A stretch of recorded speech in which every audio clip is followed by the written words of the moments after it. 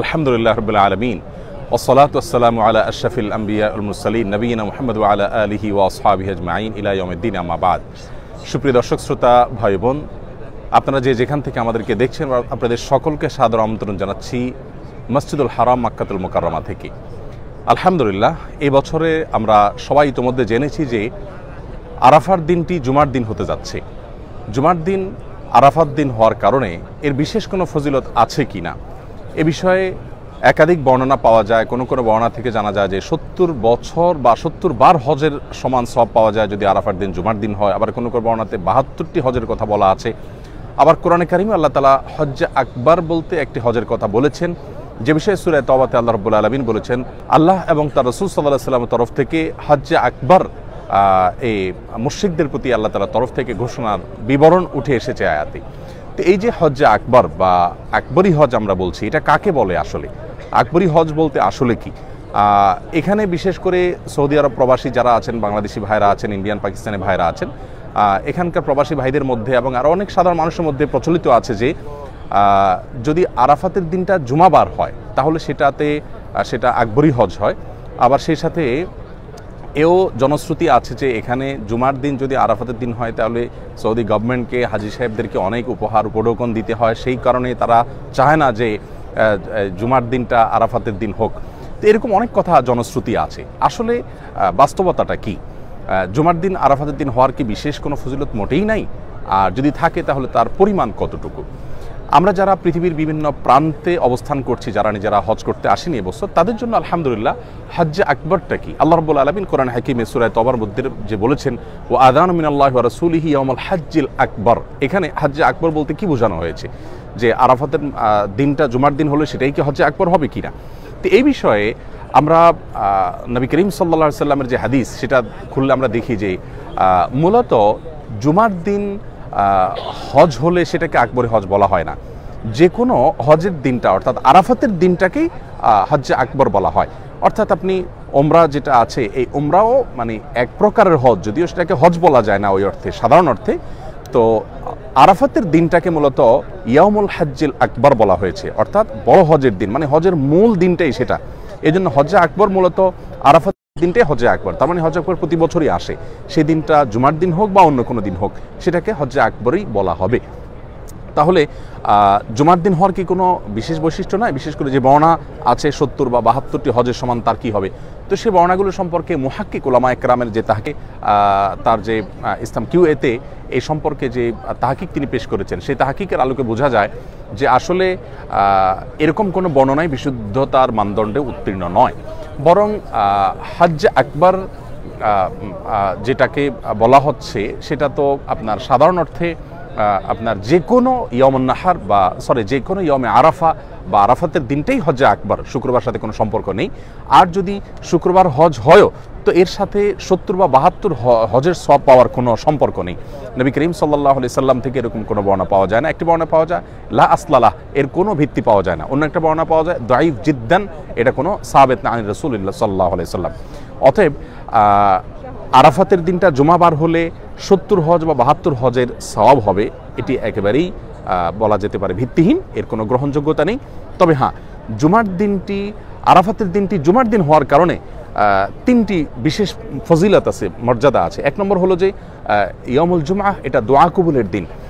জুমার দিনে একটা বিশেষ সময় দোয়া কবুল হয়। আবার আরাফাতের ময়দানটা দোয়া কবুলের জায়গা।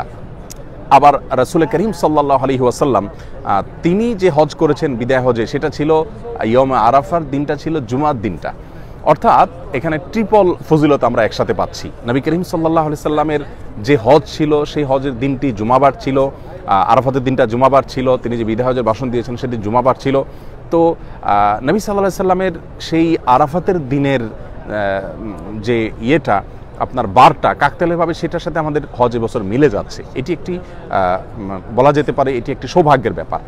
আরেকটি বিষয় হলো যে, জুমার এই দিনটাতে দোয়া কবুল হয়, আবার আরাফাতের দিন দোয়া কবুল হয়, জুমার দিন আসর পরে দোয়া কবুল হয়। মানে দোয়া কবুলের এতগুলো উপলক্ষ একসাথ হচ্ছে, এটা স্মরণকালের মানে বিরল ঘটনা বলা যেতে পারে।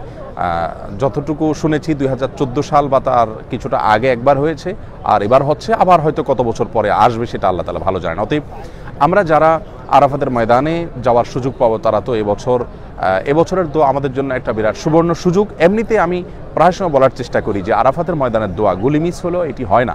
যদি আপনি সঠিকভাবে, সুন্দরভাবে আদায় করতে পারেন, তাহলে ইনশা আল্লাহ বিদিনিল্লা আরাফাতের ময়দানের দোয়া আল্লাহবুল আলমিন কবুল করবেন। অতএব, সেজন্য আমরা যারা আরাফাতে যাব তারা তো দোয়া কবুল করব ইনশাআল্লাহ। আর যারা আরাফাতের ময়দানে অবস্থান করছি না, তারাও নিজ নিজ জায়গা থেকে আমাদের কিছু করণীয় আছে। তারাও আমাদের নিজের জায়গা থেকে কিছু করণীয় আছে। আমরা আরাফাতের দিন সম্পর্কে নবী করিম সাল্লাহ সাল্লাম বলেছেন যে খৈর দোয়া এই দোয়া ওই আরাফা। আরাফাতের দিনের দোয়া হলো সবচেয়ে শ্রেষ্ঠ দিন। ওয়াখাইরু মা কুলতু আনা ওয়ান নবিয়ুন মিন ক্বাবলি, লা ইলাহা ইল্লাল্লাহু ওয়াহদাহু লা শারীকা লাহু, লাহুল মুলকু ওয়া হামদ, ওয়া আলা কুল্লি শাইইন কাদির।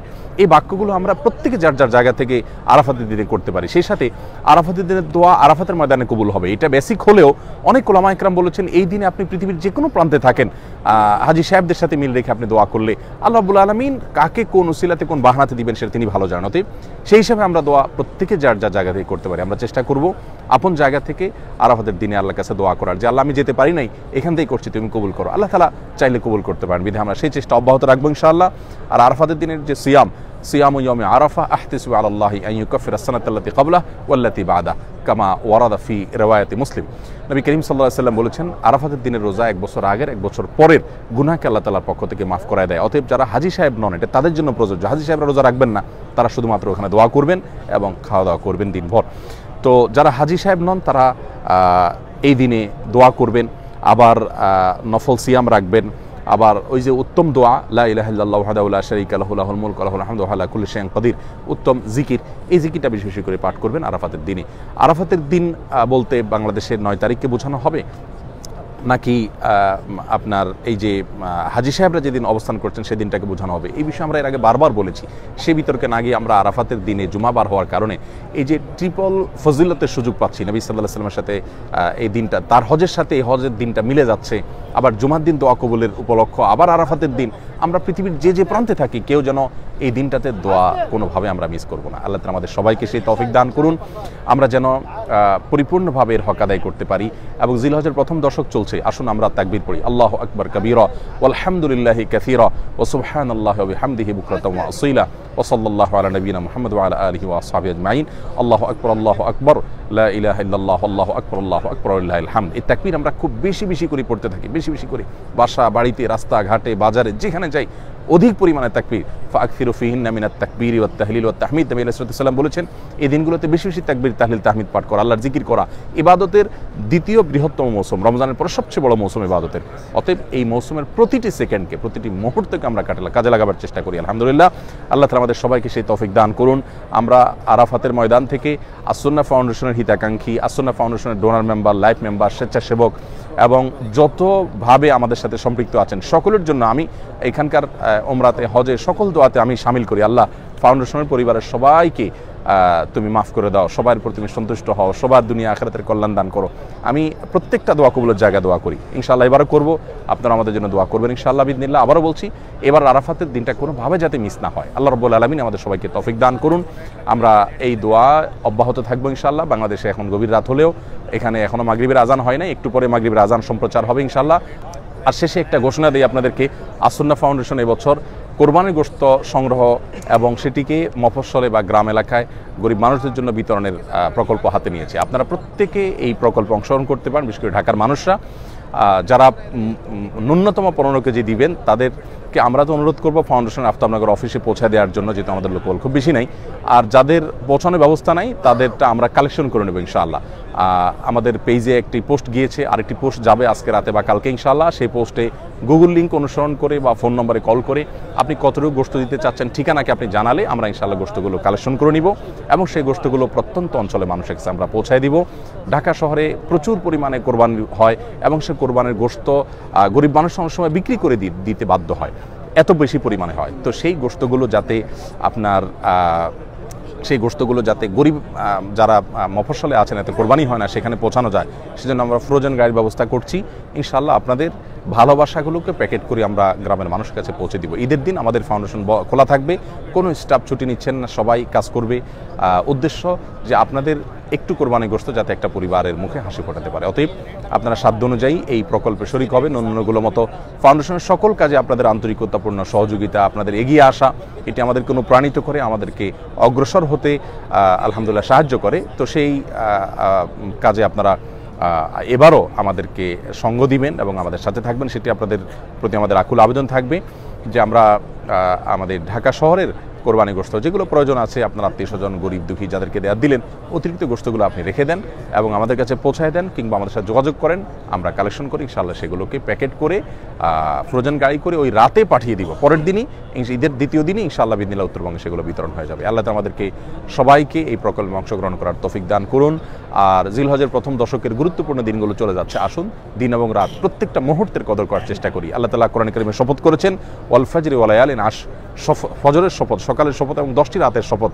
এই দশটি রাত বলতে জিলহজের প্রথম দশ রাতকে বোঝানো হয়েছে। ওয়াশাফ আই ওয়ালওয়াত্র রমজানের শেষ দশকে বেজর রাতের বিশেষ ফজিলত আছে। আর এখানে আল্লাহ তালা জোর বেজর সবগুলো শপথ করেছেন। ওয়াশাফ আই ওয়ালওয়াত্র জিলহজের প্রথম দশক আশারা জিল হাজ্জা এই দিনগুলোতে আমরা তাকবির তাহলিল তাহমিদ সাধারণ ইবাদত বন্দিগি দান সাদাকা কোরআন তেলাওয়াত হ্যাঁ, তারপরে ইস্তেগফার তারপরে গুনাহ থেকে বেঁচে থাকা এই বিষয়গুলোতে খুব বিশেষভাবে আমরা যত্নশীল হই। আল্লাহ তালা আমাদের সবাইকে সেই তফিক দান করুন এবং আরাফাতের দিনের যে, এই বছরের যে মানে বিশেষ করে যে সুযোগ তৈরি হয়েছে, ট্রিপল ফজিলতের যে মস্ত বড় সুযোগ আমাদের সামনে এসেছে, এই সুযোগটা যেন আমরা কেউ হাতছাড়া না করি, আমরা প্রত্যেকটা মানুষ চেষ্টা করি আরাফাতের দিন এবছর বিশেষভাবে দেওয়ার জন্য মনোনিবেশ করতে। ঈদের আগ মুহূর্তে আমরা অনেক ব্যস্ত হয়ে পড়ি, কিন্তু আসুন প্লিজ আমাদের অন্য সমস্ত ব্যস্ততাকে সংকুচিত করে, আমরা অন্য সমস্ত ব্যস্ততাকে কমিয়ে এনে এবার আরাফাতের দিনটাতে খাসভাবে আল্লাহ তালার কাছে দোয়াতে মশগুল হই এবং দোয়া কবুলের যে শর্তগুলো আছে সেগুলো পূরণ করি। আল্লাহ কাছে হেদায়তের দোয়া চাই এবং গোটা বিশ্ব আপনার ইউক্রেন রাশিয়া যুদ্ধের কারণে বলেন, নানা কারণে বলেন যে বিপদ জয়ের মুখোমুখি আল্লাহ তালা যেন আমাদের প্রিয় দেশকে হেফাজতে রাখেন, মুসলিম ভূখণ্ডগুলোকে হেফাজত করেন, গোটা বিশ্বের মানুষকে হেফাজতে রাখেন, সেজন্য আমরা সবাই আল্লাহর কাছে দোয়া করব। সবাই যার যার জায়গা থেকে চেষ্টা করব ইনশাআল্লাহ বিদিনিল্লাহ আমাদের দোয়ায় যেন আমাদের নিজেদেরকে, নিজেদের পরিবারকে এবং আপনাদের প্রিয় আসন্না ফাউন্ডেশনকে এবং আমাদের প্রিয় স্বদেশকে যেন আমরা সবাই সামিল রাখি। আল্লাহ তালা আমাদের সবাইকে যে বিপদ বা যে শঙ্কা, যে দুর্ভিক্ষ, যে অভাব, যে অনটন যেটার আশঙ্কা করা হচ্ছে দেশে প্রচুর লোডশেডিং হচ্ছে। লোডশেডিংয়ের কালো কারণও ব্যাখ্যা করা হয়েছে সরকারের তরফ থেকে। তো এগুলো সবগুলোই আমাদের আল্লাহ তালার কাছে দোয়ার মাধ্যমে এই এইসব বিপদ থেকে মানে রক্ষার জন্য আমাদের সবার চেষ্টা করা উচিত যেন বড় কোনো বিপর্যয় আমাদের দেশের উপর নেমে না আসে, যেটার ইতিমধ্যে নানা রকমের আলামত ইতিমধ্যে বোঝা যাচ্ছে, সেটা যেন না হয়। আমরা সেই চেষ্টা করব ইনশাআল্লাহ, আল্লাহ তালা আমাদেরকে সেই তফিক দান করুন। কিছুক্ষণ পরে আজান শুরু হবে। আমি আজান আচ্ছা মার্শাল্লাহ কমেন্টে আপনারা অনেক মানুষ দোয়া চেয়েছেন। আমি একটা দোয়া এই মুহূর্তে এখন দোয়া কবুলের মুহূর্ত। এখানে শেখ আব্দুল আজ মোহাম্মদ সাইফুল্লাহ ভাই আছেন। তিনি ক্যামেরা ধরেছেন, আলহামদুলিল্লাহ। বিনয়ী মানুষ, সবসময় এরকম করেন। এখানে আরও ওলামা একরাম আছেন আরও ভাইরা আছেন, আলহামদুলিল্লাহ। আপনাদের সকলের জন্য আমাদের দিলের গভীর থেকে দোয়া রইল। আমরা এই মুহূর্তে দোয়া করছি, আল্লাহ আমরা কাবার কাবাকে সামনে রেখে আমরা কাবার ছাদে আমরা অবস্থান করছি। এবং দোয়া কবুলের এই সময়টাতে আল্লাহ যারা দোয়া চেয়েছেন কমেন্টে, প্রত্যেকের দোয়াকে আপনি কবুল করে নিন। কত মানুষ বিপদগ্রস্ত আছেন, কত মানুষ বিপর্যস্ত আছেন, কত মানুষ পেরেশানিতে আছেন, কত মানুষ ঋণগ্রস্ত আছেন, কত মানুষ হয়তো রুগ্ন আছেন, অসুস্থ আছেন, আমরা সবার জন্য দোয়া চাইব। আমার বাবাকে নিয়ে আমি একটু পেরেশানিতে আছি। দুরারোগ্য ব্যাধিতে তিনি আক্রান্ত হয়েছেন। যে ব্যাধি, ভয়ঙ্কর ব্যাধি, সে ব্যাধিতে আক্রান্ত হয়েছেন। আমরা পরিবার সদস্যরা সবাই খুব দুশ্চিন্তে আছি। আপনাদের কাছে দোয়া চাই। আমার বাবার জন্য আপনারা দোয়া করবেন। আমিও দোয়া করছি। আল্লাহ তালা আমার বাবাকে শেফা কামালা জেলা দান করেন। আর আপনাদের জন্য আমাদের দোয়া অব্যাহত আছে, থাকবে ইনশাআল্লাহ বিদিনিল্লাহ যেন আল্লাহ রব্বুল আলমিন আমাদের সকলের সমস্ত সমস্যা দূর করেন। কমেন্টকারী যারা আছেন, যারা কমেন্ট করতে পারেন নাই, কিন্তু দেখছেন, মনে প্রাণে দোয়া নিবেদন করছেন। আপনাদের কাছে জন্য আমরা দোয়া করি। আল্লাহ রব্বুল আলমিন আপনাদের সবাই দোয়াকে কবুল করেন। সবার দোয়াকে আল্লাহ তালা মঞ্জুর করেন। আমাদের সবাইকে আল্লাহ তালা জান্নাতুল ফিরদাউসের আঙ্গিনা। এখানে যেরকম দেখতে পাচ্ছেন, সবাই আমরা একত্র হয়েছি। আসলে এই হারামের আঙ্গিনা একত্রিত হওয়ার যে আনন্দ, আল্লাহর শপথ করে বলছি, পৃথিবীর অন্য কোনো কিছুর সাথে এই স্বাদকে, এই তৃপ্তিকে তুলনা করা যাবে না। পৃথিবীর বহু স্বাদ আস্বাদন করার সুযোগ আমাদের হয়েছে, আলহামদুলিল্লাহ। কিন্তু এই কাবার আঙ্গিনায় হাজিরা দেওয়ার যে স্বাদ, এখানে সেজদা দেওয়ার যে স্বাদ, এখানে দোয়া করার যে স্বাদ এখানে ইবাদতের যে স্বাদ, সেটা আসলে বর্ণনা করে বোঝানো কঠিন। আমি দোয়া করি আল্লাহ তালা আমাদেরকে যারা দেখছেন, আমাদের সকলকে এখানে আসার তফিক দান করুন। জাজাকুমুল্লাহ খের আজানা জবাব দেই আমরা। আল্লাহ আকবর আল্লাহ আকবর।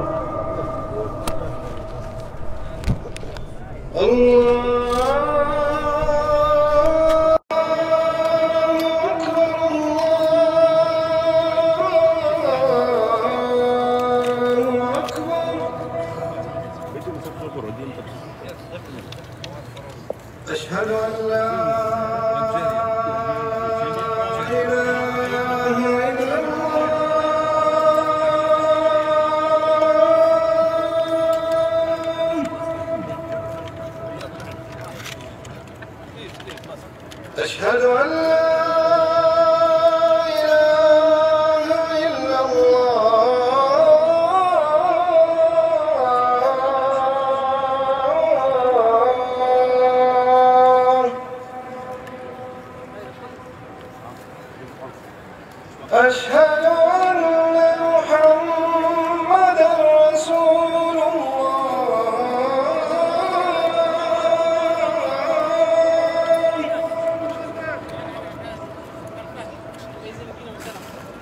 أشهد أن محمدا